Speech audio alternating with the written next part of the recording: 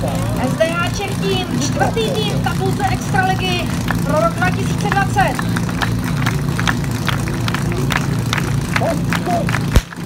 I Čechtín startuje na první pokus. Prodařil pilotný zatím to vypadá jako všechno velmi dobře, tak uvidíme, jak se s tím pronik.